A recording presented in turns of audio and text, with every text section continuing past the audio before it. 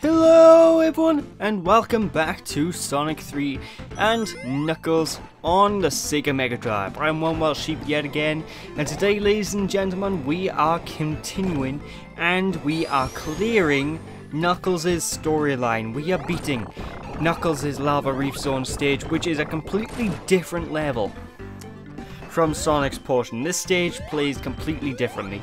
And uh, that enemy that drilled the floor, well, if you go backwards a little bit, you can actually despawn him and fly over the gap where he was. And it's actually an interesting platforming area where we can go to, where we can actually leave Knuckles' stage, because Knuckles' level is completely unique. And if you push this switch, it'll allow you to go through this wall. Going through this wall will send you to Sonic's pathway. For the sake of this LP, I'm not doing that. I've had enough of filler commentary from the previous part because the previous part is essentially Sonic levels throughout the entire thing. So um, yeah, we're gonna go through some Knuckles exclusive levels. And Lava Reef Zone as Knuckles is so much harder than when playing as Sonic. For one thing, you got a hell of a lot more ball things to deal with, you got a lot more lava traps, and you got tiny glide, you got gliding sequences like this that I can completely cheese by like by playing bad and using abusing the invincibility frames. ah, but seriously, Knuckles. This is when Knuckles' storyline takes a massive difficulty spike. You know, because the previous two levels, there weren't really many Knuckles sequences. Like Sandopolis had about two Knuckles pathways at the maximum. You know. The difficulty spike in this can throw a lot of people off, and this is primarily primarily one of the reasons why I consider Knuckles to be the harder playthrough, it's just because the last couple of the, last couple of stages of Knuckles are ridiculously hard, you know, especially in comparison to Sonic.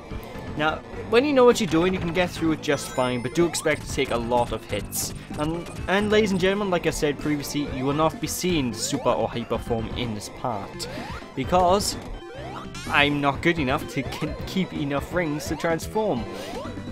I'm happy I can't for one primary reason, and that's simply because, well, I want to continue. You know, I want to show off this game as your first time through run would be. You know, not abusing the super high performance much at all. Kind of difficult to do when you have the Chaos Emeralds or Super Emeralds, which is depressing, really, because I really can't understand why Sega didn't put the super form onto its own separate button. It, it's as it's really simple. It's, it's just as simple as reassigning a control. You know, uh, I just I just don't know why they never bothered with that. I mean, even in even in Sonic 2, you would think, okay, if they the testers would have probably shut it out. Okay, transforming automatically when you have 50 rings is really annoying. It's like they put they try to put effort in to stop the you know, they try to put effort in to improve the super forms over the second game, and I appreciate that, I really do. But it's like they went halfway and then they sort of half-assed it, because jumping in the air twice, it's still not perfect, you know folks? I still I still prefer pushing its own separate button to transform, and Sonic 4 got this right. So yeah, if, if anyone argues that Sonic 4 is inferior to the classics, that's what I'm pointing at.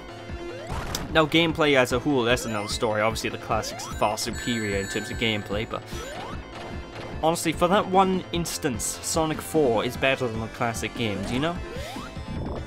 It, I'm saying that now because it's to be years probably until I end up getting to Sonic 4 as an LP because it's to take a long time for me to do these LPs considering I'm doing them at the rates that I am. But anyway, this boss fight is essentially the same as Knuckles, the only difference is he moves slightly quicker and is a bit more awkward to deal with, so... The same deal though, destroy the big shooty thingies and time your jumps so you can just land on the hand and destroy it. It's it's still a fairly simple boss fight, you shouldn't have too much difficulty getting through it. Shouldn't. ah. Anyways, on to Act 2 of Lava Reef Zone now, which just like with Act 1, is completely different. Knuckles has his own pathway to go. It starts off pretty much exactly the same, but it really turns into Knuckles' own thing. And one thing you will want in this, this particular act is the fire shield. You will need the fire shield in this act, folks, because you see those flame pillars, spouty things that they basically spit fire out? You're going to hate them. You are honestly, honestly going to despise them. Anyway, going down here, this is essentially the pathway we need to go to get through his Knuckles, so see that fire shield? Grab it as soon as you can. I said as soon as you can. There we go. There's a, there's a good Knucklehead. Who is a good Knucklehead? He's a good Knucklehead. Yes, he is. Yes, he is. I don't know what I'm saying.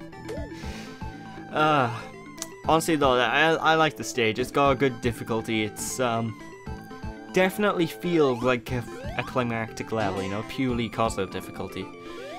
It doesn't feel climactic because of, of the music, that's surely true, because the, the music's really calm and collected.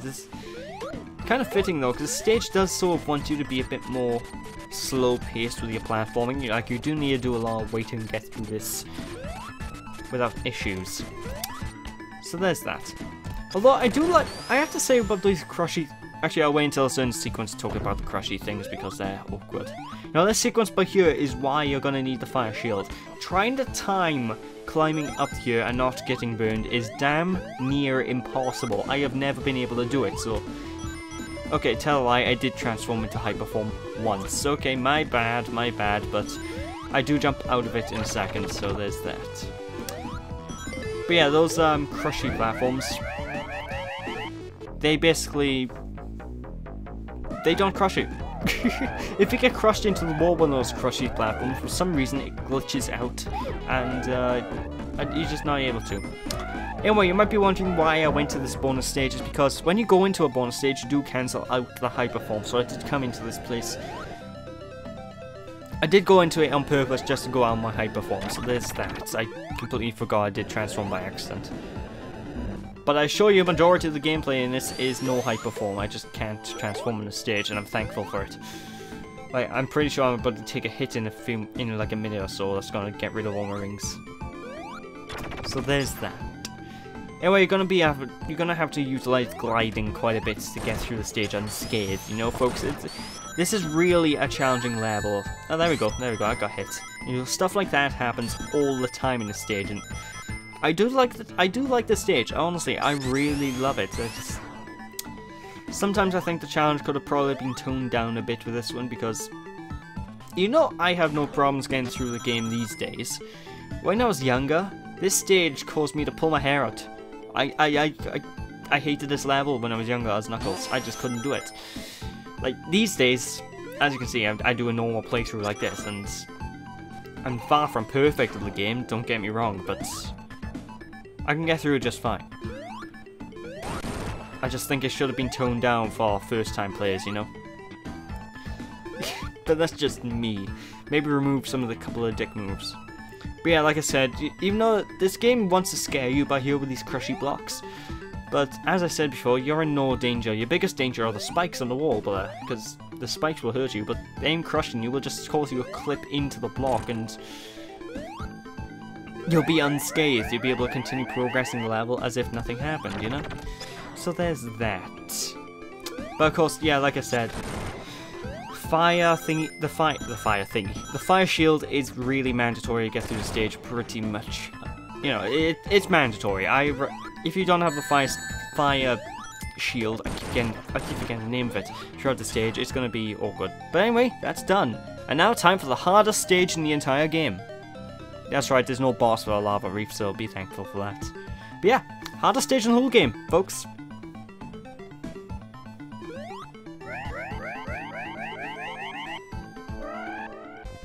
I can't believe I got out there alive. Oh my god. Oh my god. So challenging. Oh! All jokes aside, it's now time for the final boss in Sky Sanctuary Zone. So yeah, Egg Robo, how you doing, eh? eh? eh? Well, the final uh, mastermind, you'll be shocked to know, isn't the Egg Robo.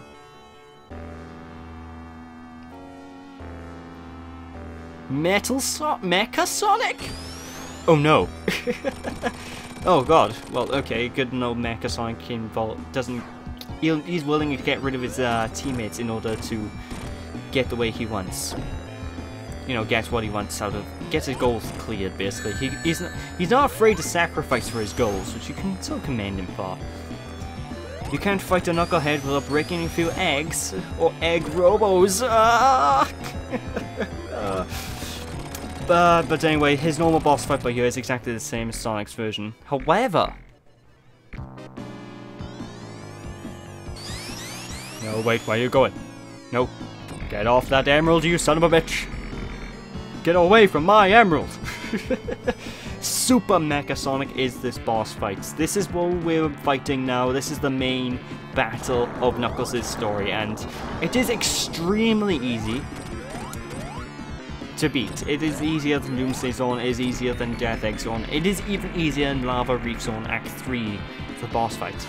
But it can be tricky if you don't know how to deal with him.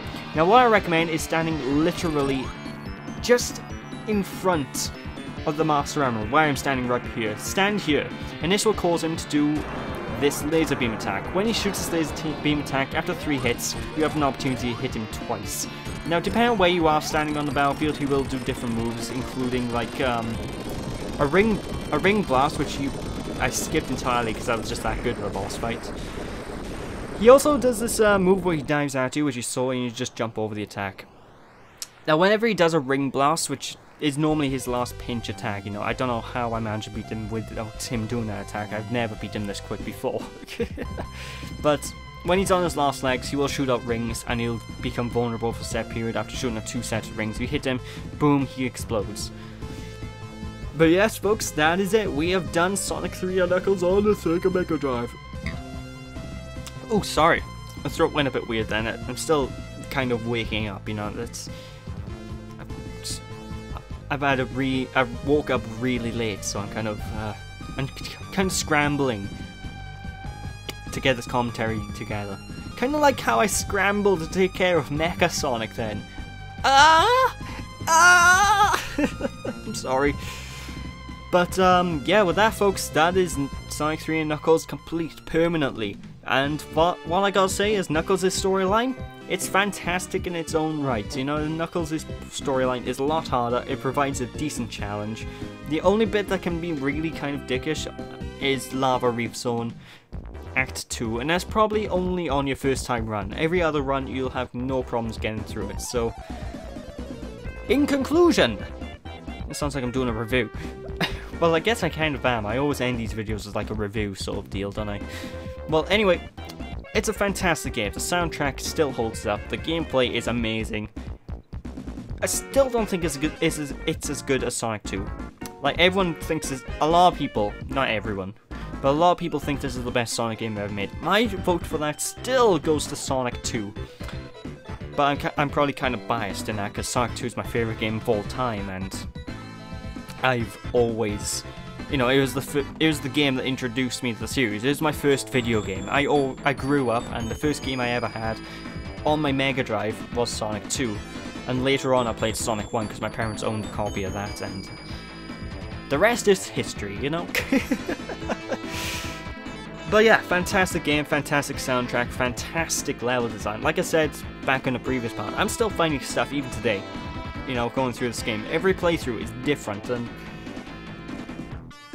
I, I find it strange how I still find new stuff, you know, uh, even games today, with all the budgets and all the content they chuck in these games, I'm, I'm not finding new things playing them, because all the things are usually laid out for you, you know, I like to have, I like to have the main storyline basic and easy enough to get through, but I also like the secrets to be, well, secret, you know?